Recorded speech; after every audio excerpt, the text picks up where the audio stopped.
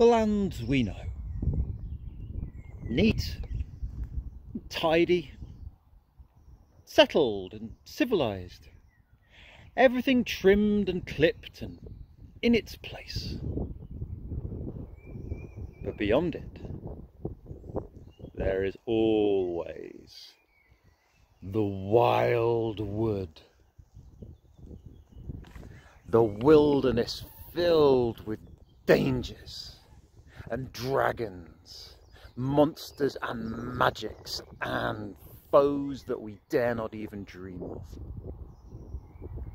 But there are also, as all the old stories tell us, adventures to be found out there, destinies to be sought, questions that can be asked and answered that we never could safe at home. So it is for Culhwch, the prince cursed with a great destiny himself, that he must marry Olwen the daughter of Ysbaddaden, chief of giants.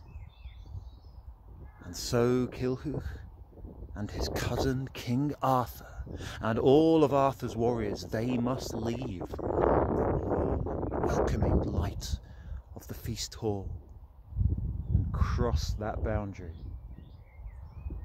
into the dark of the wood.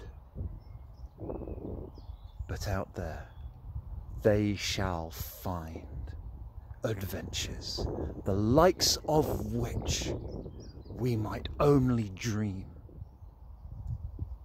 And if you want to find out what happens, well, you're in luck because I shall be telling the tale of Culhwch and Olwen online on Friday, the 16th of April 2021 at 7 pm. So, everyone's welcome.